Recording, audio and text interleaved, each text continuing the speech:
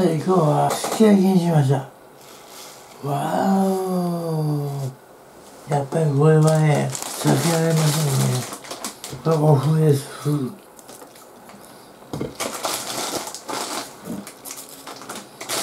全部入れちゃおうか。すき焼きはねやっぱりこの香りがね何とも言えないですね。いい具合に育ってくれよお前たち。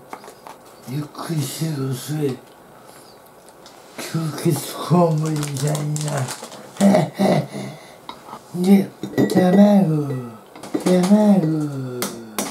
まあ隙間気にはった方が好きもです。好きやとか吉野家とかね牛丼屋さんで食べるとき卵を頼む人多いですよね。もうすき焼きを食べてる感覚なのかな。あしまった。卵入れる場所間違ったこっちだった。えい。さあそれではいただきます。イエーイ。一応は一応はねこれがないと始まりませんね。うん。うんもうまいんだこれは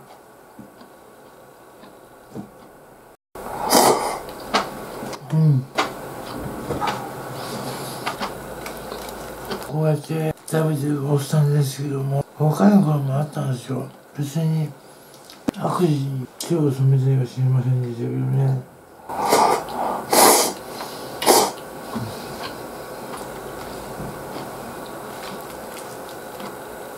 うどんああうまい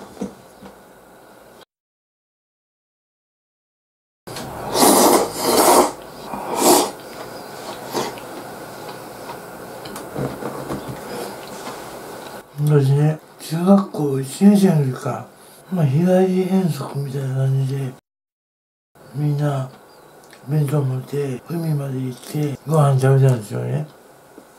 そしたら仲のいいもう一人のやつがあろうことがウイスキーを持ち込んであ13歳ですよ。ウイスキーガブ飲みして失神して救急車で運ばれました。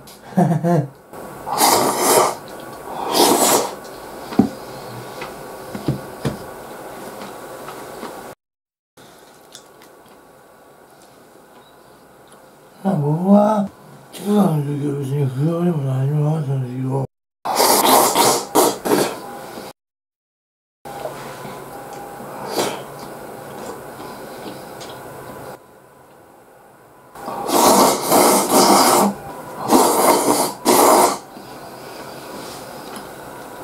当時ね魔の販売自販機コーナーって言われまして昔の世代の自動販売機なんですけども売ってるものがねエロ本なんですよ。ところがそのねエロ本自動販売機すごいシステム持ちまして客が買うとねピーッと大きなのするんですよ。それなかなか買えなくてね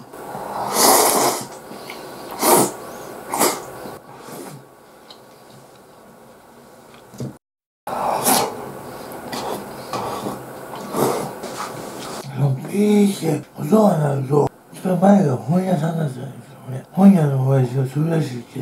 中学生なら捕まえて学校に通報してやるっていうそういう親父だったんですけどね。じゃあそれな絵本をだよって話なんですけども需要と供給があったわけなんでしょうけどね。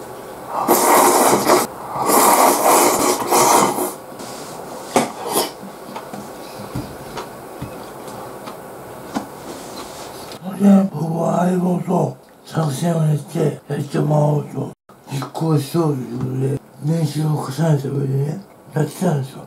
とにかく運転手役の自転車のやつは構えるんですよ。ほんで買ってくるやつは買ったらすぐに後ろに来て走って逃げるっていうね成功するかどうかドキドキもんでしたから。ほんでついに奇跡の日が決まったんですよ。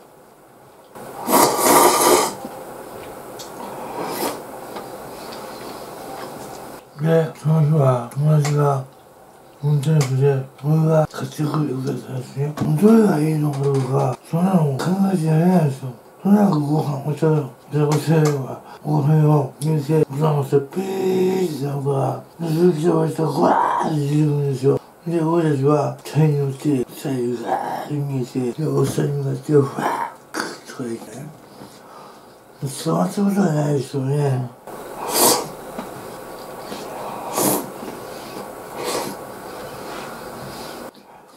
難しく前は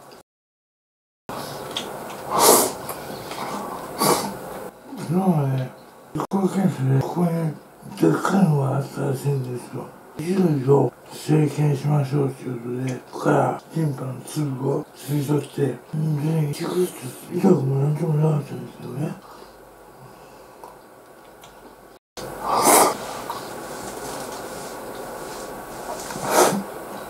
その結果が昨日だったんで1週間ほどちょっと毎日なんですけどね大事なやつなんか言われたらもうたまんねえっすよ。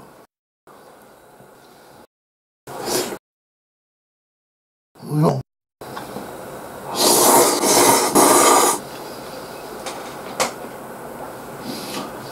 これなんかスーさんが18円ですからね僕らはこんなこんなこんなで成人式を迎え今日は二十歳になったんですけど内容は中学生と変わりませんね。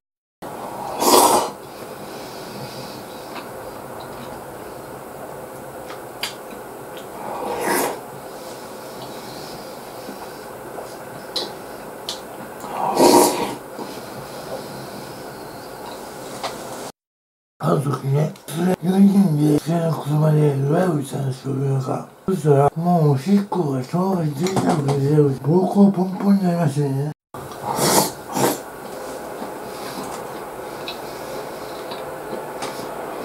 そこ高速だったんで、動画さんに止めなかったんですよ。あー、つい止まって、お願いってして、どうかバッチングでもあるだろうっていう話になって、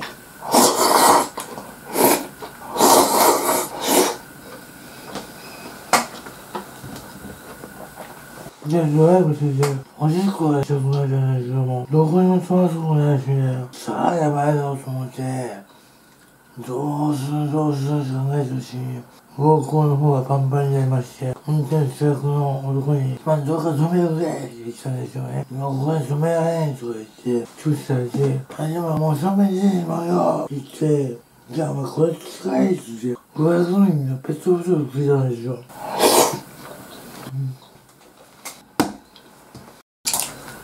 それを私たでどうするって言ったら、お前その前に署名しろって言われて、もうこっちも手段なんもないしね、実際オイルとかも止まるとこもないんで、ペットボトルにおしっこをしようとしたんですけども、亀頭がね、もうペットボトルの穴に入らないんですよ。そんなところで持ってきて、一気にブシャーって飛んだから、もうブワーってなっちゃって、後ろ座ってたんですけどね、もうみんなにかかりまくりで、何やってんだおめえとか言われたんですけどね、あそこは勘弁してもらいましたけどね、本当に、ああいう制限措置は困るな。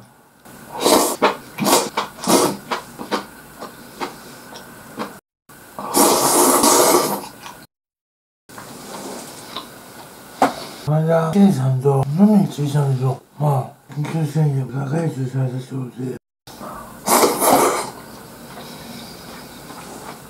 28歳ですけどね。やっぱお前は、あれのせいじゃないのね。ところが、そうはいかなかった。支援を我々め、ガンガン酒飲みでね、なんと、日本酒を飲みまして、お金をしまして、お疲れ様ーって出てくるのいいんですけど、その時点でお金やーってもう、へたばっちゃってるんですよね。連れて帰るのどうしようかな。この間タクシーどうしてないしな。んで、まあ、手引っ張って、斜めを起こしながら、もう置いてくぞって言っても、地面に這いつくばって、おやすみーとか言ってるんですよ。違うんだろう。やばいんだよ、今のままじゃ。っていう感じでねなんとかまあ家にたどり着いたんですけども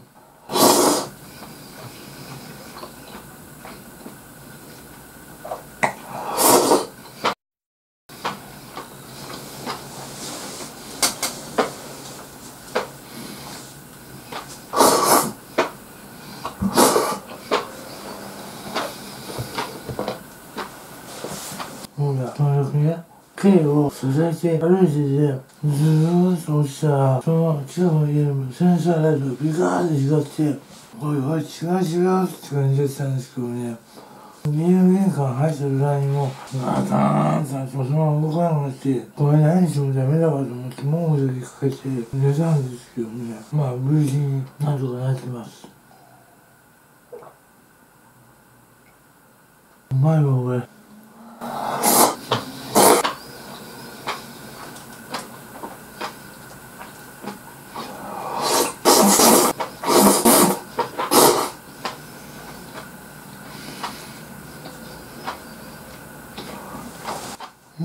今の山崎っていうか、高校生ぐらいの人って、目から吸いまうじゃないですか。親を起こさないように、静かに静かに置いてきて、合鍵使って、鍵開けてね、今じゃ鍵きっちり閉めて、で、チャリンコ乗って集合場所行くんですけども、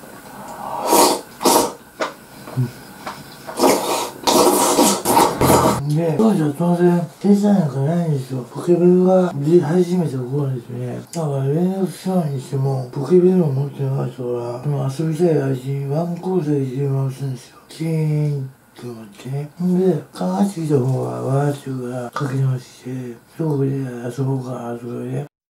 そんな感じでしたね。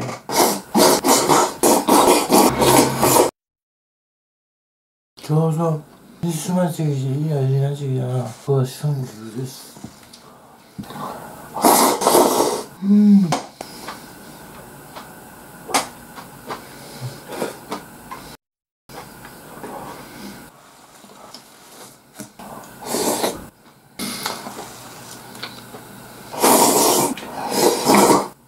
うん。うん、そうだ。昔から食べるような味が好きですね。美味しい。うん。お腹いっぱいになった。あ、そうだ。今日入るのも忘れてた。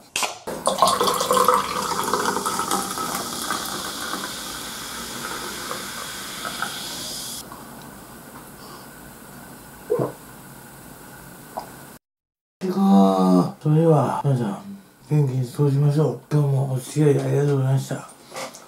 ごちそうさまです。